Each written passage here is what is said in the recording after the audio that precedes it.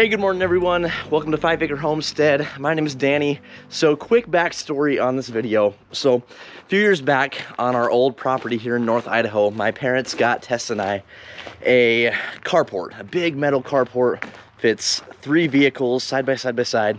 And uh, before we actually moved to this five acre property with the house on it, uh, we decided to completely disassemble it, tear it down, and take it with us. So um, we really need it. So we don't really have a really anywhere to store our vehicles right now for the winter. It's October 18th. The snow, it's coming. It's it's getting cold at night. It's frosting and we've got some bad weather in the forecast coming up and I don't have a whole lot of time to do this but um, we have this really cool little place down here down our little dirt driveway um, where we're currently setting it up. And I wanted to give you guys a sneak peek as to where we're at with the project. But we are in a mad rush to get this done. So we've got the, the basic structure, the bones of the carport, if you will, already put together. But I did film a little bit of it, and just to give you guys a, a kind of a backstory as to where we began, this corner where the entire carport is, it was a huge dirt mound where the previous owner um, basically stored every bit of trash, every piece of junk, anything that he could really find in. And that big dirt pile turned into this big dirt pile. I didn't really have a whole lot of places to put it, but we did a lot of tractor work. It was filled with these giant tree roots, concrete, beer bottles, you you name it. And it really just took a, a solid two weeks to really dig through it, level it out, but uh, but we finally got it. And so we just did a ton of tractor work and, and finally flattened it out, leveled it the best we could.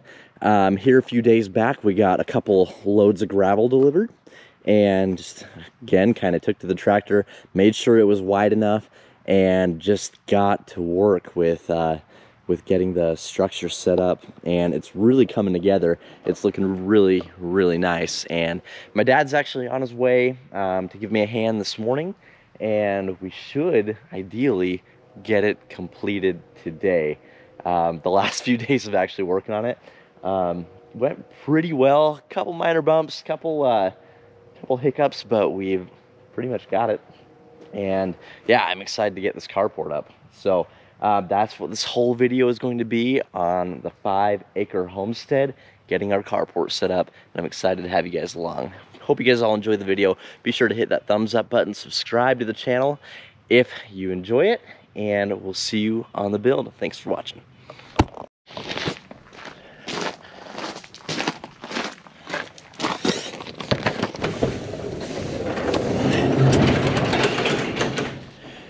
Okay, so yes, we do have a detached garage with all of our junk in it. Um, however, it doesn't fit. It's it's really small, and my truck won't fit in it. My tractor won't fit in it, and the only vehicle that's really going to fit in it is Tessa's Toyota Prius. So here we're getting our wheelbarrow full of tools. We just got to take it out and get it down to the carport.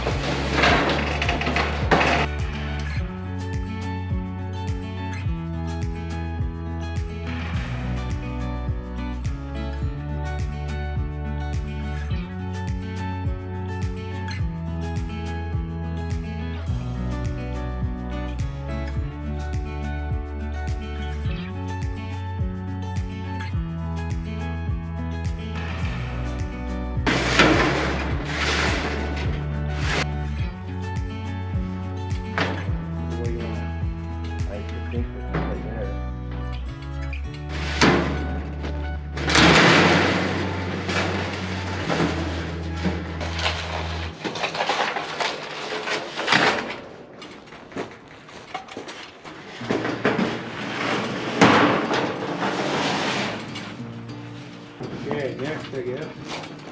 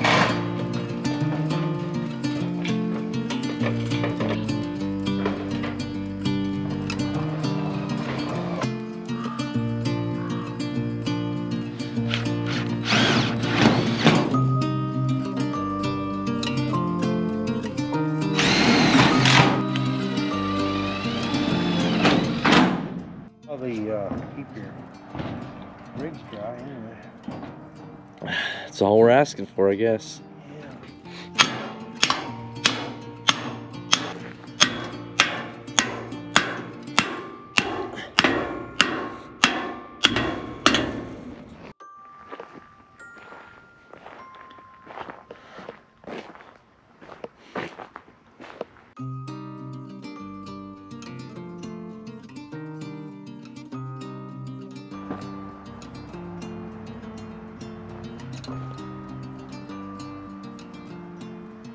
All right, the carport is done. Uh, my dad just left and uh, it's about to get dark, so we need to start getting everything put away, but what a task. Um, so, like I said earlier, the beginning of the video, we took it from our old place, our old house, and it was almost harder to reassemble it because trying to put the carport back up using all the old screw holes just like it was, it was, it was really difficult and trying to get it realigned, re-squared to how it was sitting at our old place just proved to be super difficult and we really kind of struggled with that. So don't look too close, but um, it's up and it's looking pretty darn good. So um, it came in really good time. There is rain in the forecast for the next five days or so, possibly snow, and I've got to get all my rigs just parked under cover, my tractor for one, and I'm just tired of everything just kind of being out, and so I'm thrilled to have this thing back and it's going to be great on the homestead. So I hope you guys enjoyed this build. If you did, be sure to hit that thumbs up button, subscribe to the channel, and comment down below if you enjoyed it. we got to get our things moved in. So before it gets dark, let's get that done. Thank you guys so much for watching, and we'll see you on the next video. Thank you.